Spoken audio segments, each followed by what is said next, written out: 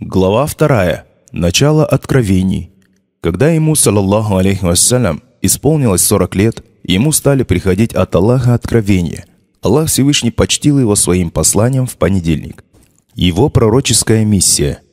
Сообщается, что мать верующих Айша, ради Аллаху Анха, сказала, «Низ послания откровений посланнику Аллаха, саллаллаху алейхи вассалям, началось с благого ведения во сне.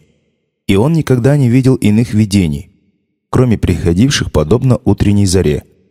Затем ему была внушена любовь к уединению, и он стал часто уединяться в пещере на горе Хира, занимаясь там делами благочестия, что выражалось в поклонении Аллаху в течение многих ночей, пока у него не возникало желания вернуться к семье.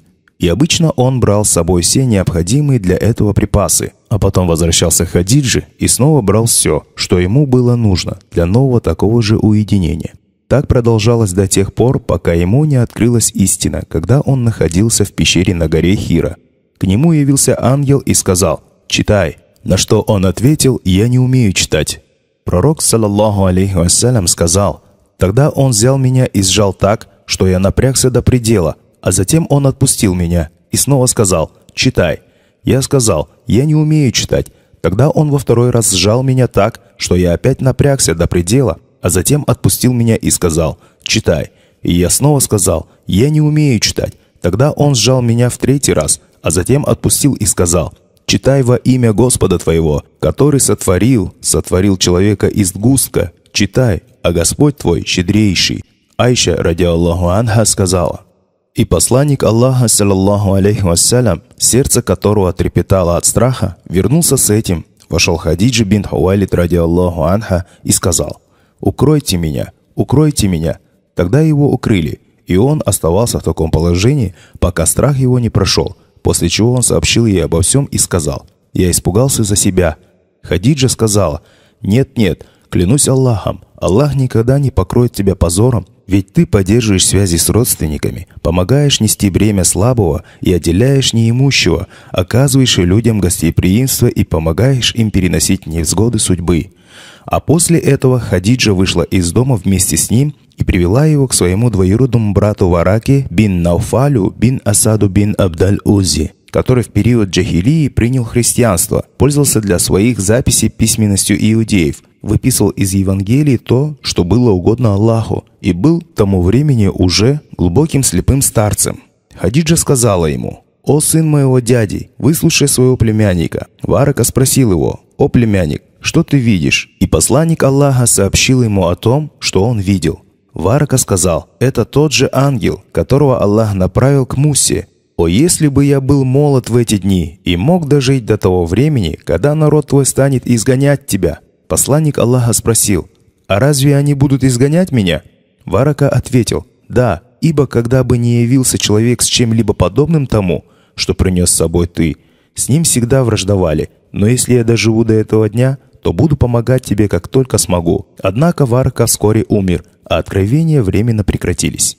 Его пророческая миссия. Посланник Аллаха, саллаллаху алейхи вассалям, сказал, «Как-то раз я шел по дороге и вдруг услышал голос с неба. Я поднял голову и увидел ангела, явившегося ко мне в пещеру на горе Хира, который на этот раз сидел на троне между небом и землей. Я испугался его, вернулся домой и сказал, «Укройте меня, укройте меня». После чего Аллах Всевышний не спаслал аят, в котором говорилось «О завернувшийся, встань и увещевай, и Господа своего возвеличивай, и одежды свои очись, и скверны избегай». А после этого откровения возобновились новой силой и стали приходить одно за другим. Степени откровения. Правдивый сон. С этого началось неспослание откровений пророку, саллаллаху алейхи вассалям. Айша, ради Аллаху Анха, сказала, Низ послания откровения посланнику Аллаха началось с благого видения во сне, и он никогда не видел иных видений, кроме приходивших подобно утренней заре. Внушение в сердце. Ангел внушал в сердце пророка, саллаллаху алейхи вассалям, так, что он не видел ангела. Он, саллаллаху алейхи вассалям, сказал, «Поистине, верный дух, то есть ангел Джибриль, вдул в мое сердце и сообщил мне, что...» Приход ангела в образе человека. Пророк, саллаллаху алейхи вассалям, сказал, «Иногда же ангел предстает передо мной в образе человека, и обращается ко мне со своими словами, а я усваиваю то, что он говорит. Иногда сподвижники видели ангела в таком образе.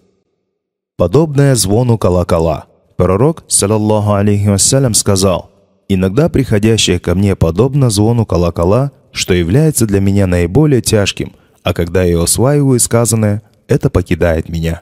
Айша, ради Аллаху анха, сказала, «И мне приходилось видеть, как в холодные дни ему не спосылались откровения, а когда неспослание завершалось, со лба его обязательно лился пот. А если ему приходило откровение, когда он находился верхом на верблюдице, то она опускалась на колени. Ангел в своем образе. Пророк, саллаллаху алейхи вассалям, также видел ангела в том образе, в котором ангел был создан. Ангел внушал ему откровением, что пожелал Аллах внушить. Такое случалось дважды, как об этом упоминает Аллах в суре Ан-Наджм. Откровение от Аллаха – это то, что Аллах Всевышний внушал ему напрямую, как это произошло в ночь Вознесения – когда пророк, саллаллаху алейхи вассалям, был выше седьмого неба, и когда было вменено в обязанность совершения пяти обязательных молитв и еще другое. Обращение Аллаха к нему с речью. Это когда Аллах Всевышний говорил с ним напрямую, без посредников, подобно тому, как Он, Аллах, говорил с пророком Мусой, алейхиссалям. Первое, что ему было неспослано. Первые пять аятов суры Аль-Аляк – сгусток.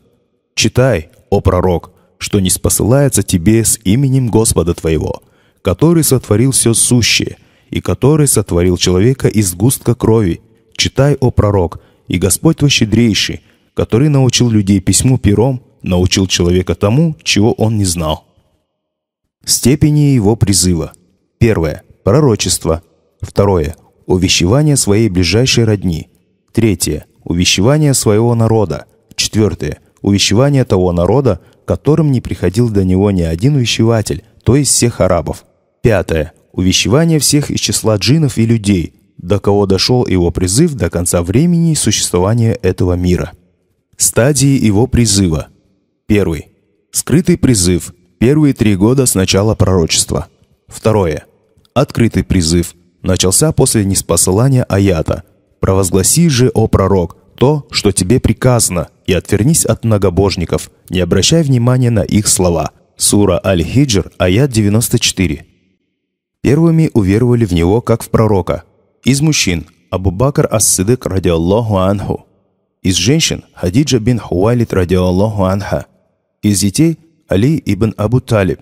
Из вольноотпущенников – Зайд ибн Хариса, ради Аллаху анху. Из рабов – Биляль ибн Рабах аль-Хабаши, ради Аллаху анху. Некоторые из опередивших.